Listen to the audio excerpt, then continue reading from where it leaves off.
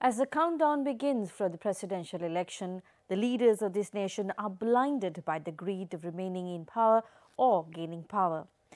Against such a backdrop, they turn a blind eye to the struggles of the people of the country. In our journey giving voice to the voiceless, Agam the team came across people whose everyday lives are upward battles. Come at the gain getter.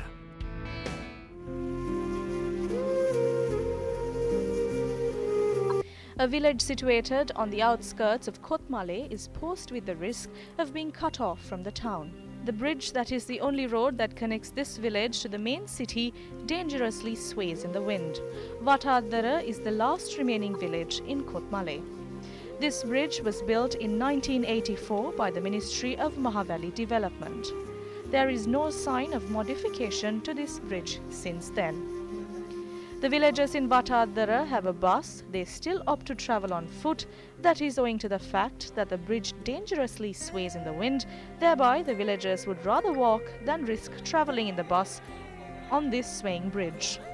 They have to walk 5 kilometers to board a bus. The bus leaves Navangama at 6 am.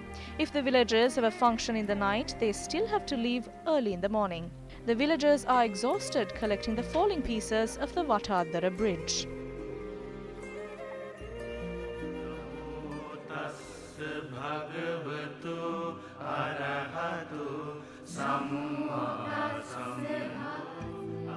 The ancient temple that was built in the time of King Dutugamunu in Pusul is slowly fading into history as a result of the negligence of the authorities. The ancient temple is situated in Navangama Pusulpitiya in Kotmale. Folklore says that as a prince, Dutugamunu, from the age of 12 to 29, spent most of his time in this holy site. History stands to say that this is where King Dutugamunu's coronation ceremony took place.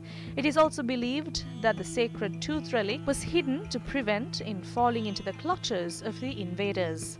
The temple is known as the Dalada Sapua. The chief prelate asks that this sacred site be protected for the future generations. Seeing an ancient holy site crumble and fade into nature broke the hearts of all the Gammadda team members. Getter.